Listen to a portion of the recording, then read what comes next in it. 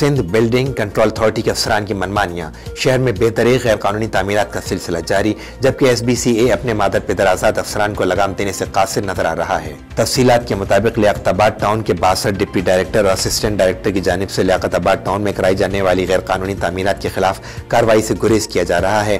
یہ دونوں افسران پینتیس سے زائد غیر قانونی تعمیرات کا سلسلہ اپنی زیر نگرانی جاری رکھے ہوئے ہیں۔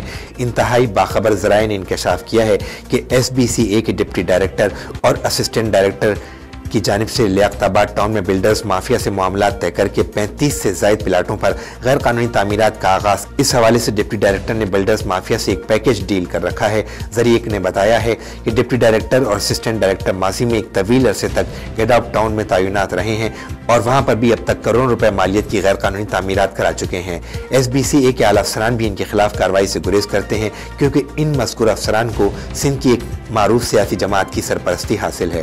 واضح رہے کہ شہر کراچی کو اندھا دھند تعمیرات اور بلند بالا عمارات نے مختلف نوعیت کے پیچیدہ مسائل سے دوچار کر دیا ہے، جس کے نتیجے میں نہ صرف پانی، بجلی، گیس اور سیوریج کے مسائل سر فہرست ہیں، بلکہ شہر کا پورے کا پورا انفراسٹرکچر بالکل تباہ ہو کر رہ گیا ہے۔ سید بہرام، فاروق کاظمی فرم بقا نیوز نیٹ ورک پاکستان۔